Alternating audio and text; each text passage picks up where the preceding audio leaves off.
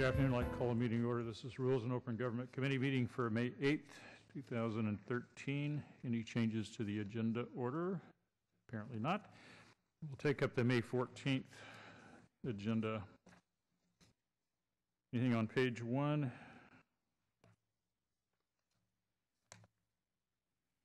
Page two or three?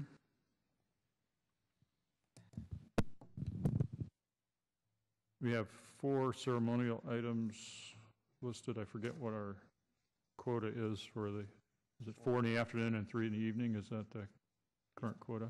Okay. Sorry, it's, it's three, but um, we added an extra one from the city manager's office. We'll come back and think about the rest of the agenda, see how long it is. Yeah, because they, they have gotten longer. Anything else on page two or three?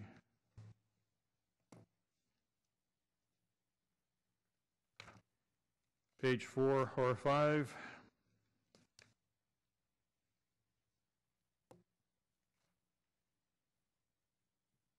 Page six or seven?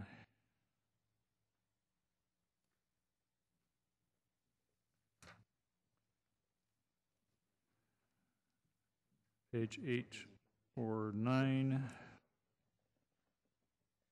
So on page nine, we're, that's the joint city council SARA thing, so we will not have anything left on the agenda with got a recommendation to drop that item, so.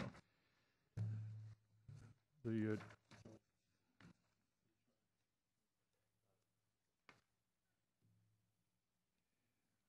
I have no no written requests for, for changes. Let's talk about the ceremonials and how long they'll take. Constant guarantees his will be short. Uh, I need to make sure staff talks to Councilmember Chu to make sure that his is short and they only have one council member and one person accepting, speaking, so we don't get multiple in, because that doubles the time. And, uh, so I think we can do four, as long as they're short. Motion to approve the agenda. Motion is to approve the agenda with whatever little changes we've made. No ads, just a drop or two. Mr. Wall, you want to speak on that?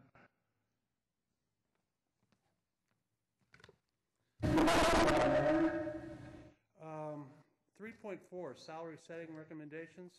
I think you should just get rid of this commission because it's of really no value. I think any type of salary increases should be made by the voters on your ballot initiatives from time to time. Uh, This peddler business, uh, item 4.1, I mentioned it before. There's an issue of lack of sanitation for some of these people that are bringing up uh, imported fruits and vegetables that may contain E. coli. Should be very wary of that since you're basically giving them an open uh, door policy to our neighborhoods. And uh, item 6.1, this business uh, reimbursement for the cost of sidewalk repairs. Sir, sidewalks are against your green vision. Well, it depends on the fact that you want to keep concrete companies employed. That's green vision, that's money. But the amount of water, aggregate water that we lose to sidewalks because of the square mileage of concrete for these things, they need to be impervious, or pervious surfaces. I mean, water has to percolate through them. And personally, I could care less having a sidewalk in front of my property, sir. I just soon have people walk out in the street and I have maintained my own property all the way to the curb. I'm not interested in this, this land giveaway to where people that have sidewalks have to assume the liability for the general public to walk past their house. Screw that. Put the public out in the street where they belong. Unless, of course, the city wants to pick up the entire cost of liability associated with sidewalks and pay for sidewalks themselves, since you want to have it. So that's enough for this agenda. Thank you. That concludes the public testimony. We have a motion to approve with the changes as noted on that motion. All in favor? Aye. Opposed? None opposed. That's approved. We'll turn now to the May 21st draft agenda. We probably should start closed session at nine because we are having the performance review of the independent police auditor on that session. And we may or may not be done with the major cases Anything else on page one about page two or three?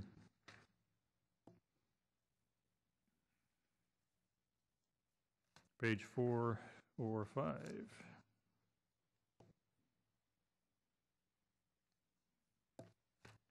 Mr. Mayor, I have a note about potentially needing sunshine waivers on 3.3, 3.5, and 5.1. Just thought we might want to check on that. Okay, three, three is uh, Team San Jose performance measures. For- Need a waiver of the 14 days. Will we be able to meet the 10-day? Yes, we'll have the report out by Friday. Okay? And three, five is the Athens Administrators for Workers' Comp Services. That as well will be out Friday. Bill, the report will be out, okay? And the- And 5.1, the grant for Bay Trail Reaches. And it is our goal to have that out with the packet distribution as well. All right, so those three would be out by Friday, so they hit the 10-day mark. Anything else on page uh, six or seven? Or eight? Nothing on nine, I'm looking at. Uh, Page 10 or 11, which are the evening agenda items, it looks like we'll have a couple of items on the agenda, plus some ceremonials.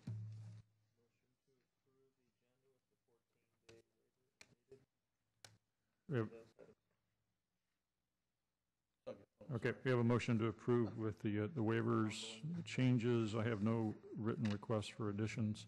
Mr. Wall, you want to speak on this agenda?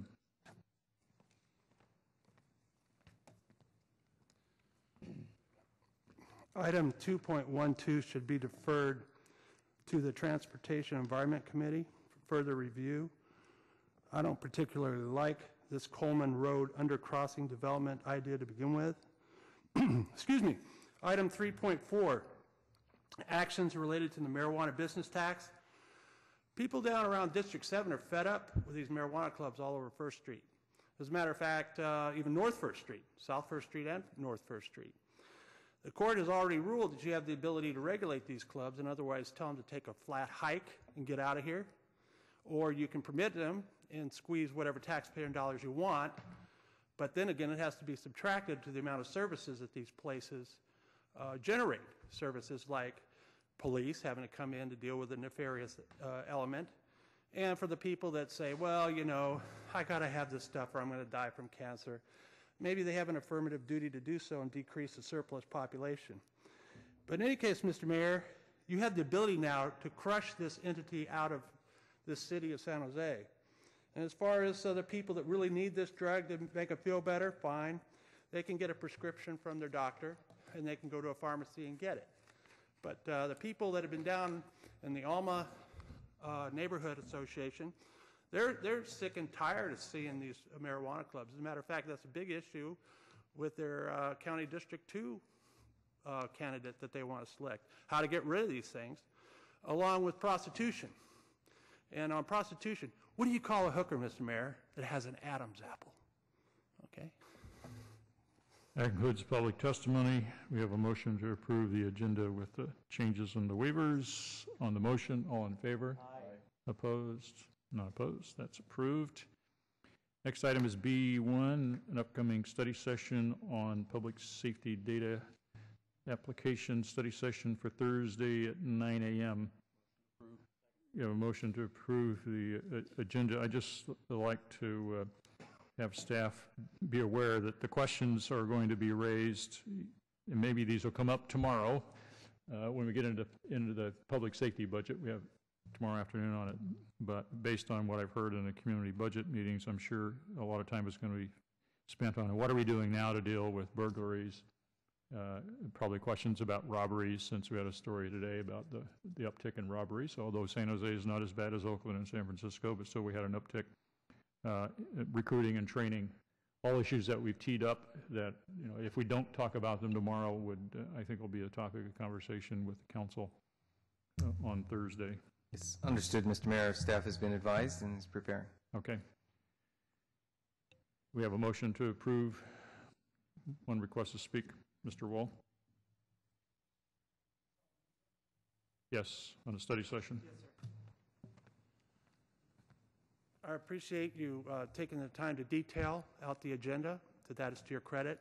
But what we don't have as part and parcel of, of the agenda is a significant statistical analysis, sir, of the, eff- or, the ramifications of Measure B as it has uh, destroyed uh, the police department, basically. Uh, People in district, or County District Two have been complaining left and right about crime. Uh, In my neighborhood yesterday, another citizen had their win, their window broken out of their car. Uh, That followed through last week's at Rules, uh, talking about a good San Jose police officer, Mark Stevens, responding on the same type of uh, crime. Sir, uh, the unintended consequences of Measure B has to be ferreted out in these study sessions because there has to be cause and effect for elected leaders pursuing their ministerial duties to put the public at risk. This opens up to the possibility of promiscuous pistol shooting in the community because who wants their house burglarized? I mean, if you got a 12 gauge shotgun, blow them out the window. We don't want to see that. Well, that doesn't bother me, okay? But I mean, some people it does bother. All right, and this comes to a parcel. You can't hire police officers fast enough. The San Jose Police Department is going to be known regionally as just a training facility for other jurisdictions. Why?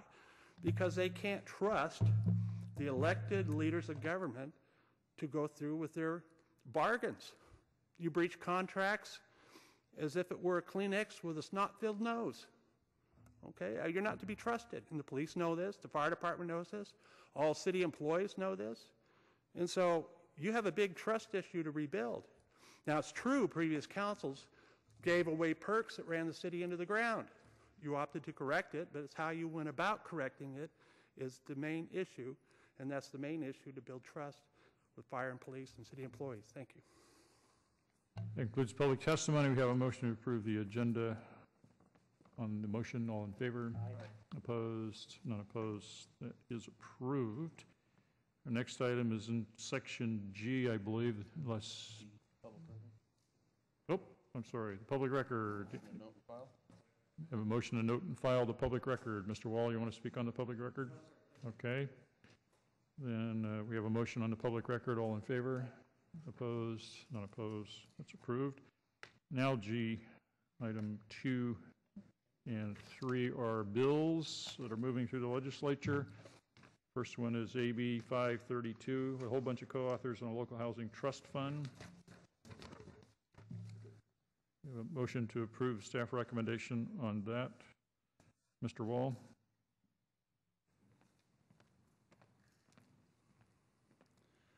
All these housing bills have a common thread.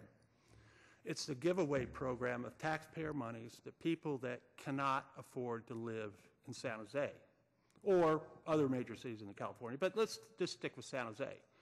And the elected leaders who kowtow to this element for votes or donations or whatnot to try to give them a false sense of hope that they're going to get their slice of the American pie at the taxpayer's expense. But let us not lose discussion about affordable housing. This is a development scam. Only the, really the developers prosper from this because of the perks, sir, that you have incorporated into municipal code that give them basically permanent waivers for car parks and also a reduction in park fees. Parkland acquisition, for example, to accommodate the vast numbers of people that are going to be hopefully gaining interest into these uh, government slum projects. But let us look to what the ancillary effects are. You have nuisance, reduction of property values for the, whoever owns a private home next to these cursed affordable housing units is going to lose property value because of the blight. Also, how much property taxes are generated from affordable housing projects? Now, you've got to be upfront and forth about this, Mr. Mayor, because you're giving away the store with these affordable housing projects. Councilmember Oliverio stated before they pay nothing in property taxes. I've witnessed, I don't know how many hundreds of millions of dollars in tax exempt bonds that have flown by this council for these cursed projects. So who is currying favor to whom, and what is the consideration for that currying of favor? That concludes the public testimony. We have a motion to approve item G2 with staff recommendation, which includes putting on the council agenda for next week. On that motion, all in favor? Opposed? None opposed? That's approved. Item three is AB 361 by uh, Mitchell as principal co-author on a housing bill.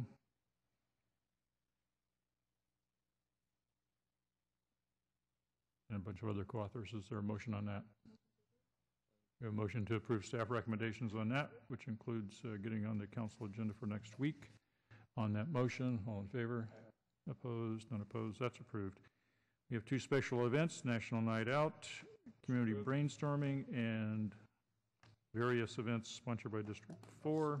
I'll second with a note. I'll second with a note, just to uh, remind staff that usually the National Night Out event itself, we do one event thing for everybody, so we don't have to have a bunch of memos.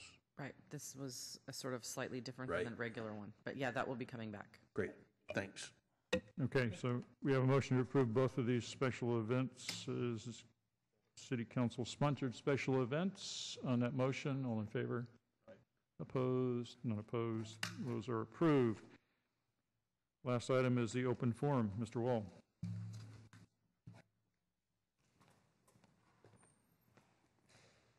First, I'd like to thank uh, the Office of City Manager. Uh, They paid attention to my commentaries about the fire hazard associated with the property behind Columbus Park between um, West Hedding and West Taylor Streets. So they're mowing it instead of disking it, which will improve the, uh, the soil quality. And it's probably cheaper than disking, and it's more environmental. But they're taking care of it as I speak, so the fire danger is no longer an issue. Now there's something you can make fun of me because I've overlooked this and I have to be held for ridicule when I make a mistake. I reviewed, finally reviewed the organizational structure of the independent, the Office of the Independent Police Auditor. And Mr. Mayor, your enemies, which I am not one of, can easily make an argument that you support gender-based discrimination.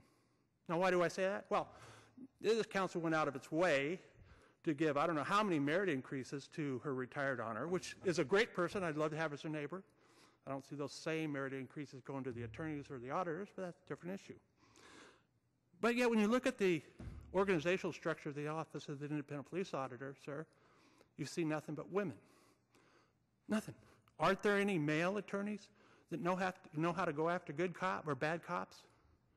Or is it just a good old girl network? Let us not be haste with criticism. Perhaps there isn't any male attorneys that could do this job. But, gosh, couldn't she even take one in training? Okay, I mean, you've got, what, Supervisor Cortese's daughter up there in the attorney's office. You know, is she going to get preferential treatment because her daddy is going to run for mayor? I don't know, and that may be an unfair comment. But let's stick to the issue of gender-based racism. That's serious business, sir. And I don't think you did it intentionally. I don't even think you looked at it. But the facts aren't in. And I don't want your enemies to say you're a bad guy. So I thought I'd tell you about it. That concludes the open forum, concludes our meeting. We're adjourned.